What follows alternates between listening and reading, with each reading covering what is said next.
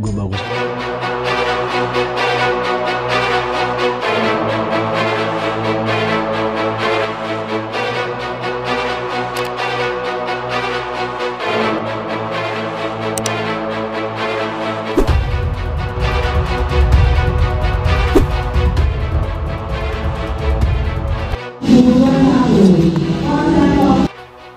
Jumpa lagi guys, tentunya dengan kita dengan kabar terbaru terupdate Lesti dan Bilar di hari ini. Yang mana dari kemarin hingga hari ini banyak keseruan Banyak keuan, banyak kekiutan mereka berdua. Apalagi sukses di Lesti. Membuat sang doi Rizky Bilar akhirnya angkat bicara. Yang mana kita tahu bahwa kemarin 20 jaman yang lalu, Lesti dan Ungu meluncing single terbaru mereka, Bismillah Cinta. Dan tak sampai 24 jam, single terbaru Ungu dan Lesti tersebut menduduki pertrendingan Indonesia hingga trending puncak nomor satu dengan view melebihi 2 juta viewer. Sungguh pencapaian yang luar biasa dalam waktu yang sangat singkat.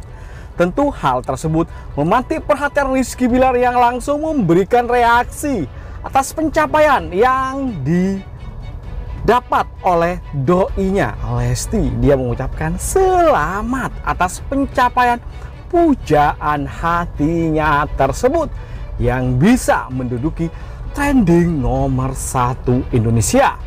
Dan Lesti pun mengucapkan banyak terima kasih atas dukungan yang selama ini diberikan oleh si doi pada dirinya.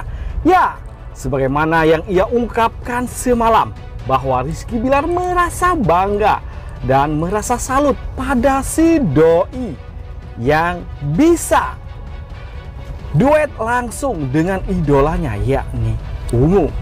Tentu saja hal tersebut menarik dan menjadi fokus kita yang mana mereka yakni Lesti dan Bilar satu sama lain sudah saling yakin dan saling support pekerjaan mereka masing-masing.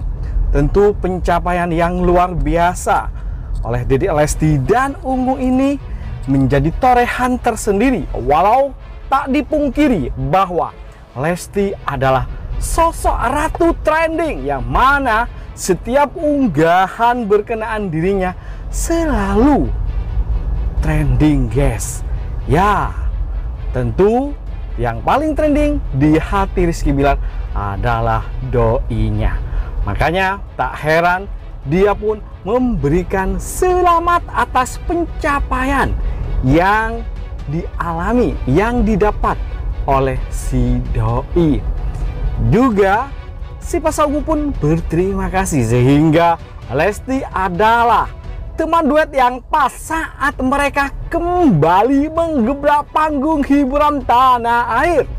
Terutama band-band lain yang juga tambah kreatif tapi kehadiran yang tepat dengan duet bersama Lesti tentu membuat Ungu kembali muncar lagi.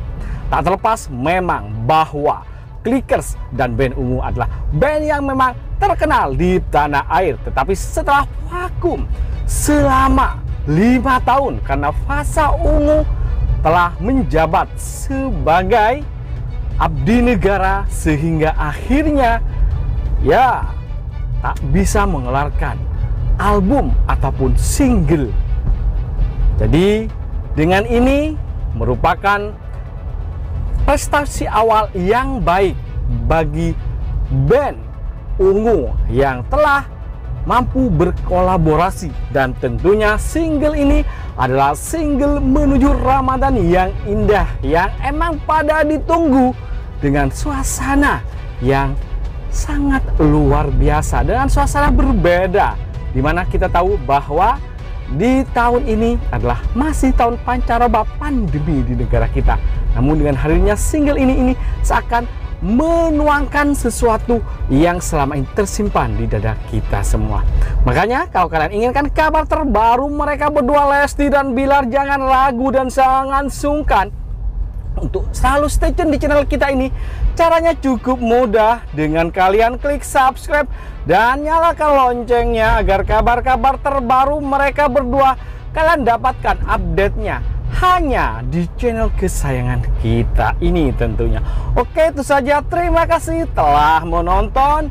Yuk, bye-bye.